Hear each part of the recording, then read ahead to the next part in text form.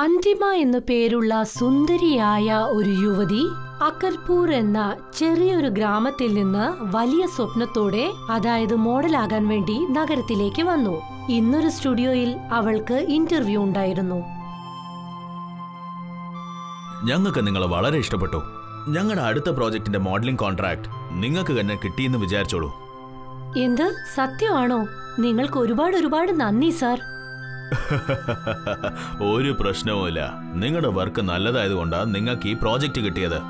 അന്തിമയ്ക്ക് നഗരത്തിനുള്ളിൽ വേറെയും മോഡൽ ഫ്രണ്ട്സിനെ കിട്ടി.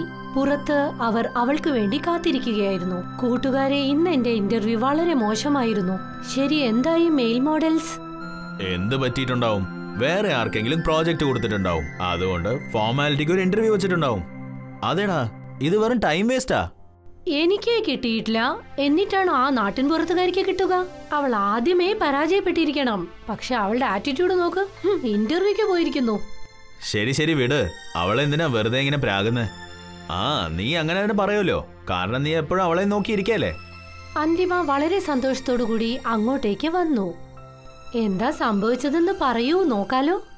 ഓ ഡിയർ നീ ഇത്രയ്ക്കും സ്ട്രോങ് ആണ്ട യാതൊരു ആവശ്യവും ഇല്ല റിജക്ഷൻ എന്ന് പറഞ്ഞാ വളരെ ഹാർഡാണെന്ന് എനിക്കറിയാം. നീ എന്നെ കെട്ടിപ്പിടിച്ച് കരഞ്ഞോളൂ. അതെ അന്തിമ. നീ ഇങ്ങനെ കഷ്ടപ്പെട്ട് അഭിനയിക്കേണ്ട ആവശ്യമല്ല. ഞാൻ നിന്റെ കൂടെ ഉണ്ടല്ലോ. ഇല്ല ഇല്ല. നിങ്ങൾ തെറ്റിദ്ധരിച്ചിരിക്കുന്നു. അപ്പൊ നീ എന്താ പറയുന്നേ? ഷീല ഫെയിലായ സ്ഥലത്ത് നീ ജയിച്ചെന്നോ? അതെ എനിക്ക് അടുത്ത പ്രൊജക്റ്റിലേക്കുള്ള എല്ലാ കോൺട്രാക്റ്റും കിട്ടി. എന്താ? നീ എന്തിനാ ദേഷ്യപ്പെടുന്നത് ഷീല ഇല്ല ഇല്ല. അവൾ ഷോക്കില്ല അവളത് നീ അതിനെക്കുറിച്ച് ആലോചിക്കണ്ട. രാജിനെ കുറിച്ച് അറിയാലോ. ഒന്ന് ചുമ്മാ ഇരിക്കേ. രാജിന് അവളെ ഇഷ്ടമാ അതുകൊണ്ട് നീ ഒന്ന് ആലോചിച്ച് സംസാരിക്കേ. നമുക്കൊന്ന് സെലിബ്രേറ്റ് ചെയ്യണ്ടേ? നിന്റെ പുതിയ കോൺട്രാക്ട് കിട്ടിയതിന്? അല്ലേ വികാസ്? എന്താ ശീല? തീർച്ചയായും. സന്തോഷമായ വിഷയമല്ലേ? നമുക്ക് സെലിബ്രേറ്റ് ചെയ്യാം. അതാണ് ശരി. പക്ഷെ നമ്മൾ എവിടേക്കാ പോകുന്നത്? എന്റെ ഫാം ഹൗസ് ഉണ്ടല്ലോ. അങ്ങോട്ടേക്ക് പോവാം. ശരി. അപ്പോ ഞാൻ തയ്യാറായിട്ട് വരാം. നമ്മൾ എപ്പോഴാ പോകുന്നത്? നല്ല കാര്യങ്ങളൊക്കെ എന്തിനാ ലേറ്റ് ആക്കുന്നേ? നാളെ തന്നെ നിങ്ങൾ രണ്ടുപേരും റെഡി ആയിക്കോ. നമുക്ക് കാലത്ത് തന്നെ അങ്ങ് പോവാം. അങ്ങനെയാണെങ്കിൽ ശരി.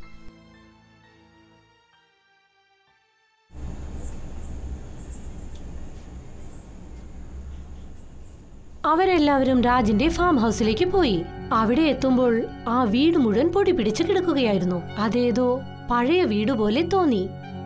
അപ്പൊ ഇതാണോ നിന്റെ ഫാം ഹൗസ് ഒരു കെയർ ടേക്കറെങ്കിലും വെക്കാമായിരുന്നു. ഇത് മുഴുവൻ വൃത്തികേടാ. ഒന്ന് വൃത്തിയായി എടുക്കാൻ തന്നെ ലീവ് തീരും. സോറി സോറി സോറി നമ്മൾ നാല് പേരും കൂടെ ക്ലീൻ ചെയ്ത് കഴിഞ്ഞാൽ ഇന്ന് വൈകിട്ടേക്കകത്ത് നമുക്ക് ജോലി തീർക്കാം. പിന്നെ ഈ ഫുൾ വീക്ക് നമുക്ക് റെസ്റ്റ് എടുക്കാം. ആ അതും ശരിയാണ്. അപ്പോ വാ നമുക്ക് ജോലി തുടങ്ങാം.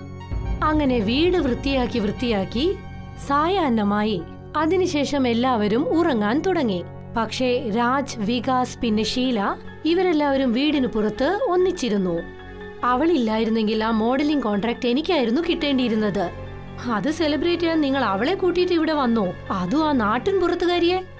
ഷീല നീ എന്ത് സംസാരിച്ചാലും ഒന്ന് ആലോചിച്ച് സംസാരിക്ക. ഷീല നിന്റെ ദേഷ്യം എനിക്ക് മനസ്സിലാവുന്നുണ്ട്. പക്ഷെ നീ നിന്നെ കൺട്രോൾ ചെയ്യ. ഞാൻ അന്തിമയുടെ അടുത്ത് എന്റെ മനസ്സിലുള്ള കാര്യങ്ങൾ പറയാൻ പോവാ. അതിൽ എന്തെങ്കിലും പ്രശ്നം വന്നാ നീ നോക്കിക്കോ. ശരി. നിങ്ങൾ ആ പെണ്ണിൽ എന്താ കണ്ടതെന്ന് അറിയില്ല. ശരി വാ പോവാം. രാജ് നീ വെക്കോ ഞങ്ങൾ ദൂരെ നിന്ന് സപ്പോർട്ട് ചെയ്തോളാം.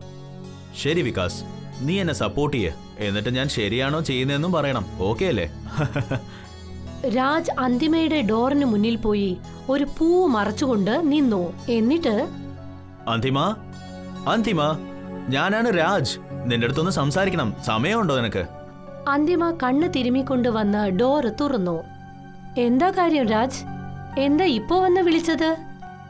നീ ഇപ്പോഴും ഉറങ്ങി എണീച്ചത്. പക്ഷേ നിന്റെ സൗന്ദര്യത്തിനെ കുറിച്ച് പറയാതിരിക്കാൻ പറ്റുന്നില്ല. അതായത് നിന്റെ അടുത്ത് എനിക്കൊരു കാര്യം പറയാനുണ്ട്. ഞാൻ അകത്തേക്ക് വന്നോട്ടെ? ഇപ്പോഴോ? ജസ്റ്റ് ഒരു അഞ്ച് മിനിറ്റത്തേക്ക്. ശരി ശരി. വാ. രാജ് കുറച്ചു മടിച്ചു. എന്നിട്ട് പറയാൻ തുടങ്ങി. അതായത് അന്തിമ ഞാൻ എന്താ പറയാൻ വന്നതെന്ന് വെച്ചാൽ ആദ്യം കണ്ടപ്പോൾ തന്നെ എനിക്ക് നിന്നെ ഇഷ്ടപ്പെട്ടു. സോ ഈ ഫ്ലവേഴ്സ് മേടിച്ചിട്ട് എന്റെ ഫീലിംഗ്സ് നീ അക്സെപ്റ്റ് ചെയ്യോ? ഏ? എന്താണ് രാജി ഇങ്ങനെയൊക്കെ? എനിക്ക് മനസ്സിലാവുന്നുണ്ട് പക്ഷെ എനിക്ക് സമ്മതിക്കാൻ പറ്റില്ല. എന്നോട് ക്ഷമിക്ക്. എന്റെ എൻഗേജ്മെന്റ് കഴിഞ്ഞതാണ്. എന്ത്? പക്ഷെ ഈ കാര്യങ്ങളൊന്നും ഞങ്ങളുടെ അടുത്ത് പറഞ്ഞിട്ടില്ലല്ലോ. ഞാനും ഒരു മണ്ടനെ പോലെ നിന്റെ പിറകെ കൂടെ തന്നെ ചുറ്റി നടക്കുകയായിരുന്നു. എന്ത് ഇത് കേൾക്കാൻ വേണ്ടിയായിരുന്നോ? അപ്പോഴാണ് വികാസും ഷീലയും ആ റൂമിലേക്ക് കയറി വന്നത്. ഞാൻ നിന്നോട് ആദ്യമേ പറഞ്ഞില്ല രാജ് പക്ഷെ ഞാൻ പറയുന്നത് നീ കേട്ടില്ല. നിങ്ങൾ എല്ലാവരും എന്താ ഇങ്ങനെയൊക്കെ പറയുന്നത്? പിന്നെ രാജ് എനിക്ക് എല്ലാം മനസ്സിലാകും. പെട്ടെന്ന് കേൾക്കുമ്പോൾ നിനക്ക് ദുഃഖം ഉണ്ടാകും. പക്ഷെ എന്നോട് ദേഷ്യപ്പെടാൻ നിനക്ക് യാതൊരു അധികാരവും ഇല്ല. അന്തിമ ശരിയാ പറയുന്ന രാജ്. നീയല്ലേ ഇതൊക്കെ അറിഞ്ഞിരിക്കേണ്ടേ? ഇതെല്ലാം സാധാരണ വിഷയങ്ങളാ. വാ നമുക്ക് പോവാം. എന്നിട്ട് അന്തിമ നീ കാര്യങ്ങൾ മറന്നേക്ക്. കാരണം നിന്റെ പുതിയ വർക്ക് നമുക്ക് എല്ലാവർക്കും ചേർന്ന് സെലിബ്രേറ്റ് ചെയ്യണ്ടേ? വികാസ് അവിടെ നിന്ന് എല്ലാവരെയും കൂട്ടി പുറത്തേക്ക് വന്നു.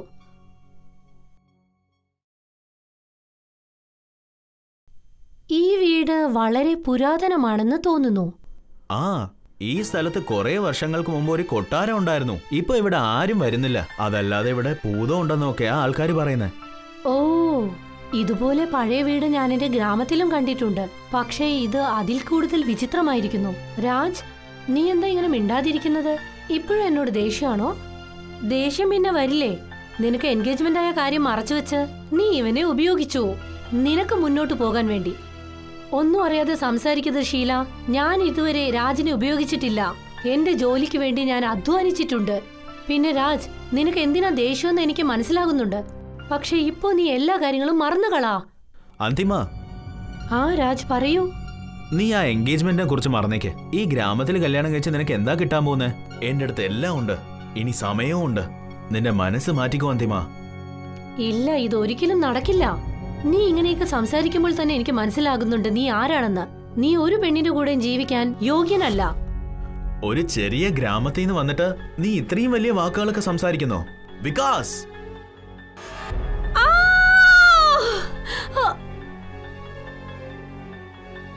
ഈ സൗന്ദര്യം കാരണം നിനക്ക് അഹങ്കാരമാണോ? നിന്റെ ശരീരത്തിൽ നിന്ന് നിന്റെ തല ഞാൻ കൊയ്തെടുക്കാൻ പോവാണ്. മരിച്ചതിന് ശേഷം നിന്റെ സൗന്ദര്യം വെച്ച് എന്താ നിനക്ക് കിട്ടാൻ പോകുന്നേ ഏ? വേണ്ട. ദയവ് ചെയ്ത് എന്നെ വെറുതെ വിട്. ഏയ് നിങ്ങൾ എന്തൊക്കെയായി ചെയ്യുന്നത്? നിങ്ങൾ ഇങ്ങനെയൊക്കെ ചെയ്യുന്നത് ഞാൻ പ്രതീക്ഷിച്ചതേ ഇല്ല ഇത് വളരെ കൂടുതലാണ്. ഇത് ഇവിടെ കൊണ്ട് നിർത്തിക്കോ പ്ലീസ് വായടയ്ക്ക. നിന്റെ ജോലി പോയതിന് കാരണം ഇവൾ തന്നെയാ. ഇപ്പം വായടച്ച് ഇവിടെ എന്താ സംഭവിക്കാൻ പോന്നെന്ന് നോക്കിക്കോ. നീ എന്നെ തന്നെ വേണ്ടാന്ന് പറഞ്ഞല്ലേ? ഈ കാഴ്ചകൾ കണ്ടതും ഷീലയ്ക്ക് വളരെയധികം ഭയം തോന്നി. പക്ഷെ അവളുടെ ശബ്ദം തൊണ്ടയിൽ നിന്ന് പുറത്തേക്ക് വന്നില്ല. രാജുവും വികാസും ചേർന്ന് അന്തിമയുടെ തല ഛേദിച്ച് അതേ സ്ഥലത്ത് തന്നെ അവളെ കുഴിച്ചിട്ടു. വളരെയധികം സന്തോഷത്തോടു കൂടി അവൻ അവരുടെ ഫാം ഹൗസിലേക്ക് തിരിച്ചു വന്നു. ശരി ഇതോടെ അവളുടെ കഥ തീർന്നു. ഇനി നമുക്ക് നമ്മുടെ വെക്കേഷൻ അടിപൊളിയായിട്ട് എൻജോയ് ചെയ്യാം. ഷീല നീ വളരെ പേടിച്ചു പോയിരിക്കല്ലേ ഒന്ന് സന്തോഷമായിട്ടിരിക്കെ. നിനക്ക് തീർച്ചയായും ആ ജോലി കിട്ടും.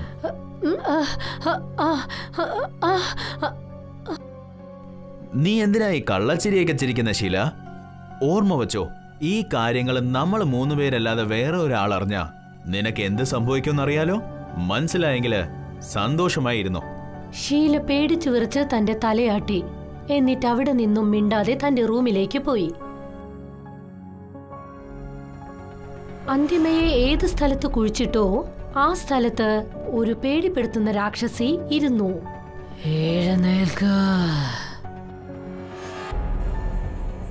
അഭിമാനം അത്യാഗ്രഹം ക്രുദ്ധത. ഈ വികാരങ്ങളെല്ലാം ഒരുമിച്ച് ചേർന്ന് നിന്നെ ഈ അവസ്ഥയിലേക്ക് കൊണ്ടുവന്നു. ഇപ്പോ എഴുന്നേൽക്ക. നിന്റെ വികാരങ്ങളോട് കൂടി ആര് നിന്റെ തലയും ശരീരവും വേറെ വേറെ ആക്കിയോ? അവരുടെ അടുത്തേക്ക് പോയി നീ ശിക്ഷിക്ക്. ആ പാപം ചെയ്തവരുടെ തലയും ശരീരവും വെവ്വേറെയാക്ക് ഇതാണ് നിനക്ക് കിട്ടിയ അവസരം. അത് ഞാൻ നിനക്ക് തന്നിരിക്കുന്നു. രാജ് വികാസ് പിന്നെ ശീല അന്തിമ ആദ്യം രാക്ഷസിയെ നോക്കി. എന്നിട്ട് അവിടെ നിന്നും നടന്നുപോയി. ആ സമയത്ത് രാജിന്റെയും വികാസിന്റെയും കൂടെ ഇരുന്ന് ഷീലയും സംസാരിച്ചുകൊണ്ടിരിക്കുകയായിരുന്നു. പക്ഷെ ഷീലയുടെ മുഖം ശോകമൂകമായിരുന്നു ആ സംഭവത്തിന് ശേഷം. ഷീല നീ ഇതുപോലെ എപ്പോഴും വാ തുറക്കാതെ ഇരുന്നു കഴിഞ്ഞാലേ നമ്മൾ സെലിബ്രേഷന് വേണ്ടി വന്നത് തന്നെ വേസ്റ്റ് ആയി പോകും രാജ് അവൾക്ക് കുറച്ച് സമയം കൊടുക്ക്. അവൾ ശരിയായിക്കോളും. ആ- സംഭവം എന്റെ മനസ്സിൽ നിന്ന് പോകുന്നേയില്ല. അതുകൊണ്ടാണ് ശരി ശരി. നിനക്ക് എന്താ തോന്നുന്നോ അത് ചെയ്യ. അയ്യോ ഇപ്പൊ ഇവിടെ കറണ്ടും പോയല്ലോ.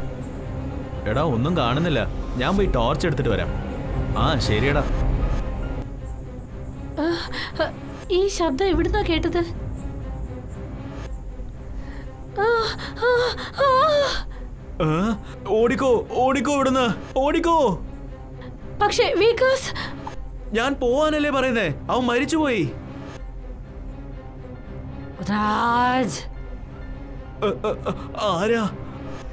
അന്തിമ. അന്തിമയുടെ പേടിപ്പെടുത്തുന്ന രൂപം കണ്ട് രാജും ഷീലയും ആ വീട് വിട്ട് ഓടി. അവർ കാടിന്റെ ഭാഗത്തേക്കാണ് ഓടിയത്. രാജ് അവിടെ നിൽക്ക് രാജ്. നിനക്ക് താഴെ വീഴാൻ ഈ സമയമേ കിട്ടിയോളൂ. അവിടെ തന്നെ കിടന്ന് ചാവ്. ഞാൻ പോവാൻ പോവാ. രാജ് പ്ലീസ് രാജ് എന്നെ ഇവിടെ ഒറ്റയ്ക്കാക്കി പോകരുത്. ഷീല പറഞ്ഞ യാതൊന്നും രാജ് കേട്ടതേയില്ല. തനിയെ അവൻ അവിടെ നിന്നും ഓടി ഷീല കരഞ്ഞുകൊണ്ട് അവിടെ നിന്നും എഴുന്നേറ്റു.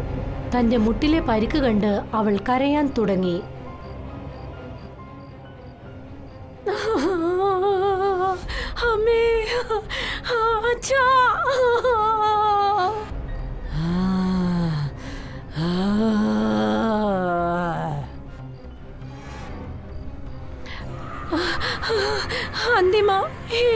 ക്ഷമിക്ക്. അങ്ങനെയൊക്കെ ചെയ്യുമെന്ന് ഞാൻ പ്രതീക്ഷിച്ചതേ ഇല്ല ഞാൻ നിന്നോട് അസൂയപ്പെട്ടത് സത്യമാണ്. പക്ഷെ ഇങ്ങനെയൊന്നും നടക്കുമെന്ന് വിചാരിച്ചില്ല. ദയവ് ചെയ്ത് എന്നെ വിട്. നിന്നെ കൊന്നതിൽ എനിക്ക് ഒരു ബന്ധവും ഇല്ല ദയവ് ചെയ്ത് എന്നെ വീട് അന്തിമ. ആ.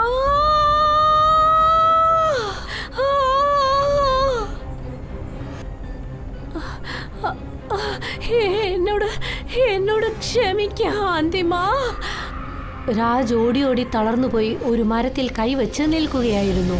പേടിച്ചു വിറച്ച് അവന് തന്റെ ശ്വാസം പോലും നിയന്ത്രിക്കാൻ പറ്റിയില്ല. എന്റെ ദൈവമേ ഒരു ദിവസം എന്നെ രക്ഷപ്പെടുത്ത്. ഞാൻ ഇനി നന്നായിക്കോളാം. ഇങ്ങനത്തെ ഒരു പാപം ഞാൻ ഇനി ഒരിക്കലും ചെയ്യില്ല. അന്തിമ വേണ്ട. എന്നെ ഒന്നും ചെയ്യരുത്. എന്നെ വിട്ടേക്ക്. എന്നെ ഇവിടുന്ന് പോവാൻ സമ്മതിക്ക്. ഞാൻ നിന്റെ വീട്ടിലുള്ളവർക്ക് എല്ലാവർക്കും പൈസ തരാം. ഞാൻ അവരെ എല്ലാരെയും നോക്കിക്കോളാം അവരിനി ആ ഗ്രാമത്തിൽ താമസിക്കേണ്ട ആവശ്യമില്ല. ഞാൻ അവരെ നന്നായിട്ട് നോക്കിക്കോളാം എന്നെ വിട്ടേക്ക് പ്ലീസ്. നീ ജീവിക്കാൻ അവകാശമില്ലാത്തവനാണ്. നിനക്ക് നിനക്കൊരിക്കലും ജീവിക്കാൻ അവകാശമേ ഇല്ല ഇല്ല ഇല്ല എന്നെ വിട്ടേക്ക്. ഞാൻ നിന്നെ സ്നേഹിക്കായിരുന്നില്ല അന്തിമ. അതുകൊണ്ട് അതുകൊണ്ട് നീ എന്നെ കൊല്ലരുത് അന്തിമ. ഞാൻ നിന്നെ ജീവൻ തുല്യം സ്നേഹിച്ചതാ അന്തിമ നീ ശരിയെന്ന് പറഞ്ഞിരുന്നെങ്കിൽ നീ എനിക്ക് ഇപ്പോഴും ജീവൻ ഉണ്ടായിരുന്നിരിക്കും രാജ് പറഞ്ഞത് കേട്ട് അന്തിമ ചിരിച്ചു. എന്നിട്ട് അവനെ കെട്ടിപ്പുണർന്നു. കണ്ടില്ലേ എന്ത് ഈസിയാന്ന്. നീ ഇങ്ങനെ ചെയ്തിരുന്നെങ്കിൽ എന്ത് നന്നായിരുന്നിരിക്കും. അന്തിമ തന്റെ ശരിയായ രൂപത്തിലേക്ക് വന്ന് രാജിനെ നോക്കി. രാജാണെങ്കിലോ അവളെ കണ്ട് വീണ്ടും സന്തോഷവനായി. നിന്റെ രൂപവും ശരിയായി. ഞാൻ ഏതൊക്കെ കഥയാ ചെറുതിലെ കേട്ടത്? അതേപോലെ ഞാൻ നിന്നെ ഒരു രാജകുമാരിയെ പോലെ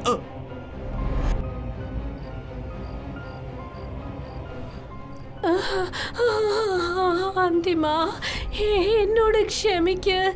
അന്തിമ. അവിടെ ആരുള്ളത് അന്തിമ.